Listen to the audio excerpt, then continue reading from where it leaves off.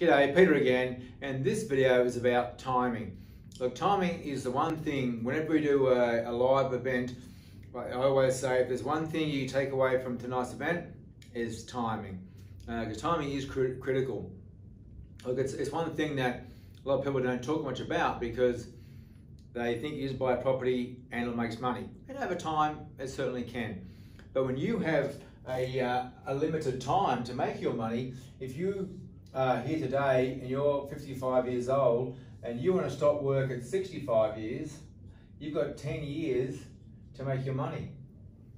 Haven't you? That's all you got. You've got 10 years. And if you've got 200k in your super now and you, and you need 1.2 million to be able to retire, which is not even enough, uh, when the government's saying you know, around 60,000 a year to live on, um, and if you stop working at 65 and live to 85, average age Australia around 83, um, so it's almost say 20 years for easy maths, times 60,000, well that's 1.2 million. So if you want to stop working at 60, well obviously that's more. And if you live longer than 83, which hopefully you do, then you need even more money. You don't, you don't want to outlive your money. So it's critical you make as much money as you possibly can. You can't afford to waste time in the market. So you need to make sure you buy the right time of the cycle.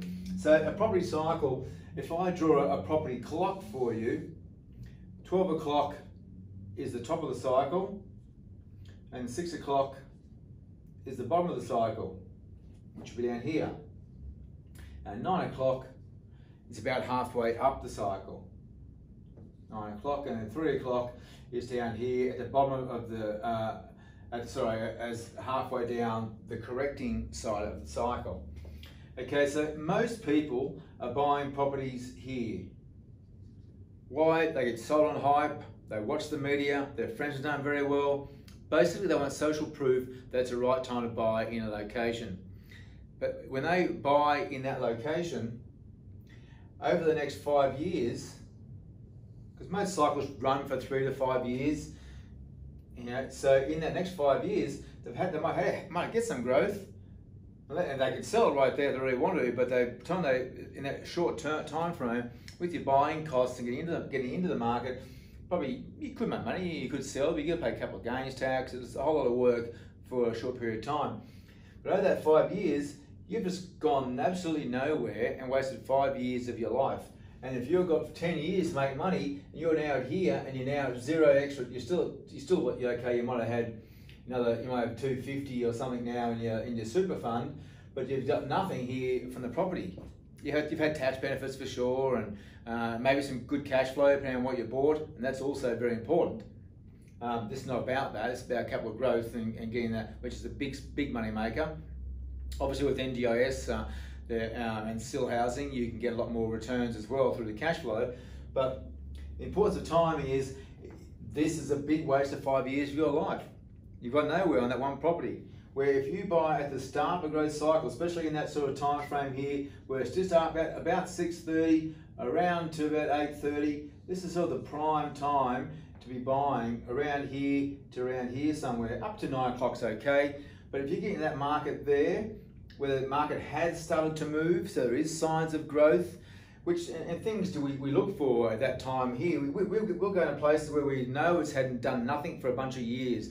But we know because of that, the government's spending billions of dollars of infrastructure, private companies are putting billions of dollars of infrastructure in. Um, you know, that's creating jobs. So uh, jobs, the job market is, is improving, so unemployment's coming down. Uh, that, therefore, that, that's putting pressure on the housing market, so rental incomes are starting to increase. Uh, houses on the market uh, for sale and rent become shorter time frames.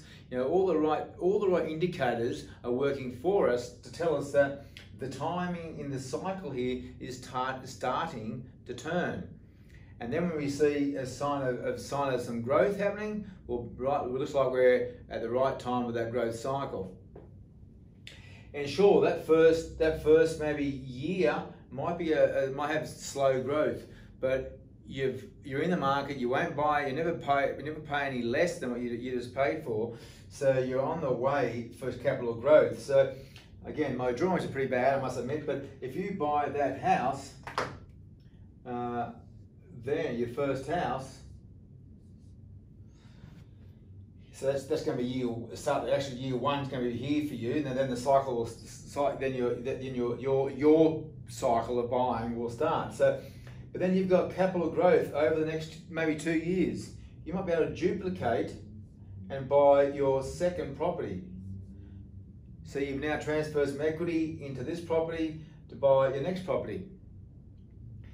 And then maybe even in the before the five years is up, you might even be able to get your second or third property. Now you've got your third property. If that's the case, you've now got three compounding capital growth assets. That's growth on growth on growth. If that grew at eight, uh, 10% for easy mass over that five year period, and you paid, you know, uh, uh, say $700,000, all of a sudden the 700,000 becomes 770, 770 becomes like 850, 850 becomes like 9, 9, uh, 940 uh, roughly, and then all of a sudden you, you get it. All of a sudden you've, you've got compound capital growth with that property, maybe two or three hundred thousand dollars. And then your, your second property is less time in the market, but it may have grown by hundred thousand dollars. So you now got you know four hundred thousand dollars, and then you then you bought your fifth one. It may not have grown much, but you're in the market now for that fifth property. It starts, but all these ones, this one, this property here could be in uh, could be in Perth hypothetically. You buy this property to start of another cycle, and that might be in uh, Adelaide, and this one would be another start, start another cycle. Might be in Melbourne hypothetically. You've got a diversified portfolio. You bought at different times. Now you've got three properties working for you. The time you get to this point in time, like like this this this poor investor um, that they've got they've gone nowhere financially, zero. This person may be worth a few hundred thousand dollars and have three growth assets with strong tax deductions and good great cash flow from three properties. And you see how much further they have gone. They're going to they've now got three properties in that in that growth period, and they've now got if they do nothing else, they've got another another you know ten years for this one, maybe eight for this one, and maybe you know seven for this one to grow until they want to stop work. Then it gives them options to what they can do when it comes to having assets at the when they reach that age point. That's not that, that's not what this video is about. But you can see the importance of you know getting into the growth into the growth cycle at the right time, duplicating and building a portfolio.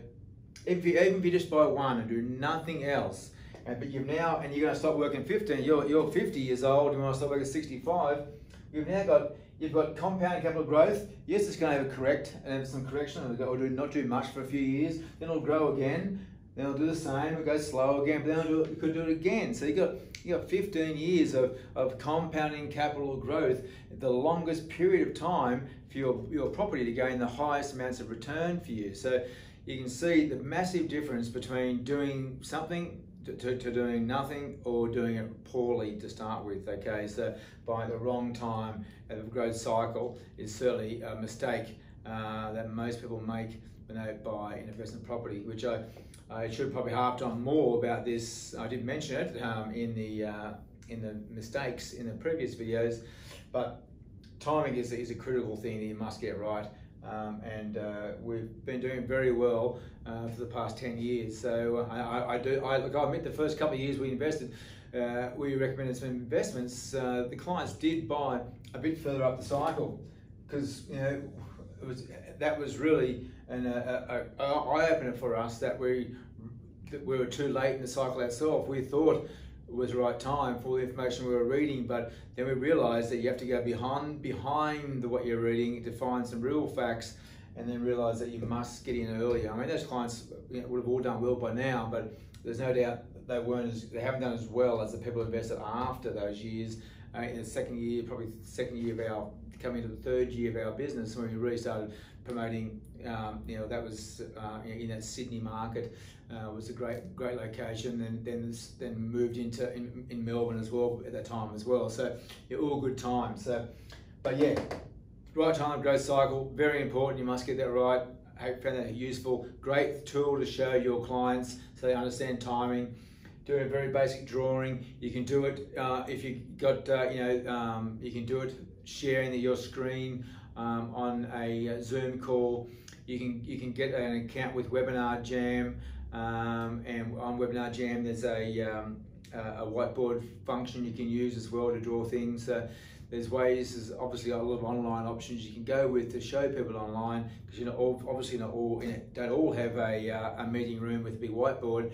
Um, when I when I um, ever go face to face with somebody um, in a in a different location, I'll take an A3 um, bit of paper and I'll draw it on that for them, along with a bunch of other scribbles that I do as well with my little drawings I like doing. But you know, visuals are always good to help people identify you know what you're trying to get across to them. Hope you found that helpful. Until next time, uh, Peter, PPA, as always, trying to keep it real.